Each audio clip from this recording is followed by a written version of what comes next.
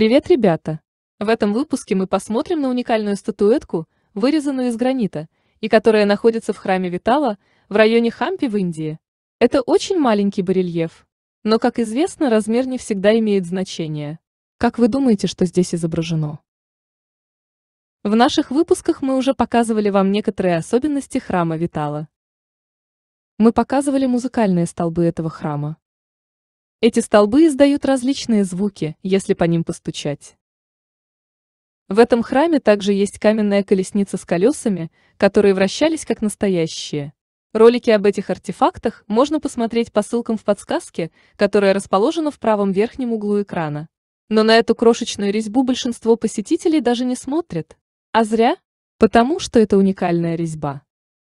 Индийские храмы известны своей качественной резьбой по камню с кристально чистыми деталями. Но этот барельеф совсем другой. У него нет каких-либо четких функций, хотя мы можем видеть некоторые детали. И это очень загадочная резьба. Если вы посмотрите на нее сверху, вы сможете увидеть лягушку. Это очень похоже на лягушку. И вы можете увидеть ее голову, тело и конечности. Интересно, что лягушку будут видеть в основном дети, не достигшие подросткового возраста. Подростки и взрослые редко видят здесь лягушку. Если вы подросток, мальчик или девочка, вы будете склонны видеть здесь змею. Вы сможете увидеть голову змеи, ее изогнутое тело и хвост. Итак, на одной и той же резьбе вы можете увидеть лягушку, которая является добычей, а также змею, которая является хищником. Так почему же дети видят лягушку, а подростки – змею? Но не спешите с ответом. Давайте продолжим осмотр. Если вы взрослый мужчина, мужчина в возрасте от 20 до 50 лет, вы, вероятно, увидите, как обезьяна хватает с земли своего детеныша. Вы увидите, как более крупная обезьяна защищает своего детеныша, хватает его внизу, чтобы поднять наверх. Если вы мужчина, и вы смотрите это видео, и принадлежите к этой возрастной группе, то это, вероятно, первое, что вы заметили. Обезьяна, поднимающая своего детеныша. Но вот взрослая женщина на это взглянет совершенно иначе. Она заметит мать-обезьяну, кормящую грудью своего детеныша. Вероятно, вы уже поняли закономерности этой скульптуры. И вам не терпится узнать, что делать людям старше 50 лет. Что они обычно видят? Они заметят вот это. Это бог летающих обезьян. Вы можете увидеть его две ноги в воздухе и даже увидеть его хвост, если внимательно присмотритесь. Он никто иной, как лорд Хануман, который старается верно служить другим. Но если вы откажетесь от всех своих мирских желаний, если вы готовы встретить смерть без всякого страха, если вы станете монахом или человеком, ищущим просветление, вы увидите нечто совершенно иное. Вы увидите это. Цилиндрический лингам, защищенный сверху гигантской змеей. Это видят только очень мудрые или очень старые люди. И это очень интересно. Зачем такую резьбу много веков назад сделали в Индии? Почему люди разных возрастных групп и разного пола видят в одной и той же резьбе разные изображения? Это духовность или наука? Для древних индусов духовность была наукой, а древние строители всегда красиво сочетали духовность и науку. Сегодня существует особый вид искусства, который называется неоднозначные изображения. Эти изображения используются психологами, чтобы узнать о состоянии вашего разума.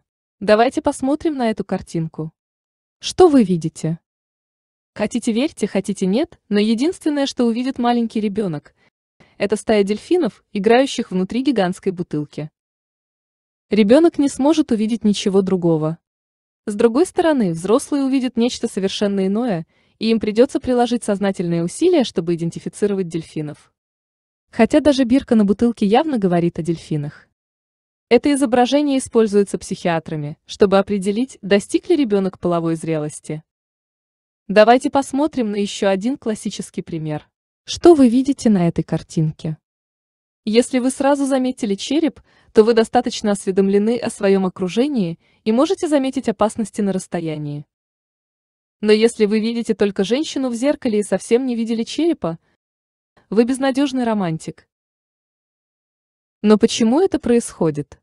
Это одна и та же картина, но почему люди видят совершенно два разных изображения? Это происходит потому, что на самом деле вы видите не глазами, вы видите своим умом. И то, как ваш разум обусловлен, так он изменяет информацию, которую вы видите своими глазами. Таким образом, вы можете думать, что вы абсолютно объективный человек, но вы всегда обрабатываете всю поступающую информацию с помощью некоторых фильтров, и эти фильтры основаны на вашей обусловленности. А вот если вы сразу заметили оба изображения на этих неоднозначных картинках, вы очень умный человек, обладающий солидными аналитическими способностями. Подобные оптические иллюзии психиатры показывают пациентам. И доктора даже могут идентифицировать психические заболевания, такие как шизофрения, используя эти изображения. Но интересно отметить, что эта двусмысленность или оптическая иллюзия использовалась во многих резных фигурках Древней Индии. Ролик об этих оптических иллюзиях древних строителей можно посмотреть по ссылке в правом верхнем углу экрана. К примеру, как в храме в Махабалипураме. Этой резьбе 1300 лет. Вы видите здесь корову? Или вы видите какое-то другое животное? В большинстве вырезанных оптических иллюзий Древней Индии мы видим только два разных изображения. А вот изображение в Хампе очень продвинуто. Этот барельеф показывает несколько изображений, и вы обычно видите то, что хотите видеть, в зависимости от вашего возраста или пола. Если вы отец, вы с большей вероятностью увидите изображение обезьяны, поднимающей детеныша с земли, типичный отцовский жест защиты ребенка. Если вы мать, вы с большей вероятностью увидите, как детеныша обезьяны кормит грудью, потому что это ключ к его жизни. Итак, вы можете видеть, что много веков назад, в Индии, древние строители умело создали эту неоднозначную резьбу. Зачем? Зачем им было нужно то, что сегодня используют психиатры? Кого они пытались обнаружить среди посетителей этого храма? Для чего еще могла потребоваться эта статуэтка, которая показывает как минимум семь различных изображений? В этом месте пытливый ум должен спросить, подождите, но в ролике говорится только о шести изображениях. Да, в этой статуэтке есть еще один образ, о котором в ролике не рассказали. Если вы заметили его, вы редкость, поэтому, пожалуйста, напишите, что вы видели в разделе комментариев. А в мире еще много загадок, но в один ролик они все не поместятся. До новых встреч!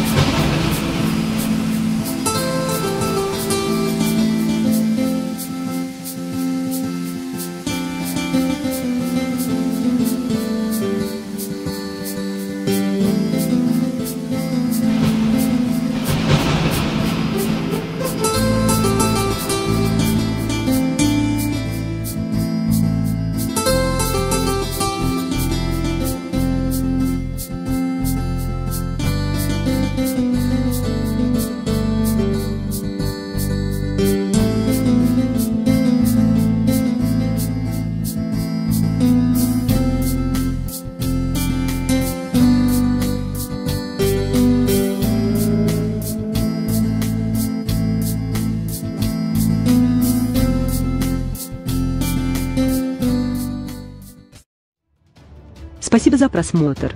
Все ссылки на источники информации в описании под роликом. Так что пишите комментарии, жмите на пальцы, делитесь этим видео с друзьями, подписывайтесь на канал, ну а мы пока поищем что-нибудь интересное для следующего ролика. Монтаж, перевод, озвучка и анимация студии Эльмукон.